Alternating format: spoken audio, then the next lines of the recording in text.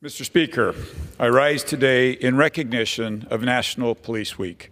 For me, Police Week started solemnly. On Monday, I attended the funeral of Santaquin police officer Bill Hooser. Sergeant Hooser is a hero, killed in the line of duty by a felon with a 20 year criminal history who had no right to be on Utah's roads. At the funeral service, the Santaquin police officer, police chief, said Hooser was the best field training officer he had ever seen. His work and dedication to other officers on the force undoubtedly has kept many safe.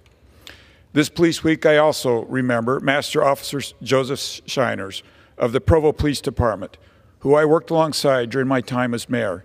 He was tragically killed in the line of duty in 2019. I'd like his family to know that I still keep his picture on my desk in Provo in remembrance of his sacrifice and contribution. The Provo Police Chief described Shinners as one of his all star officers. These men and all of our officers killed in the line of duty are heroes who gave their ultimate sacrifice to keep our communities, our families safe.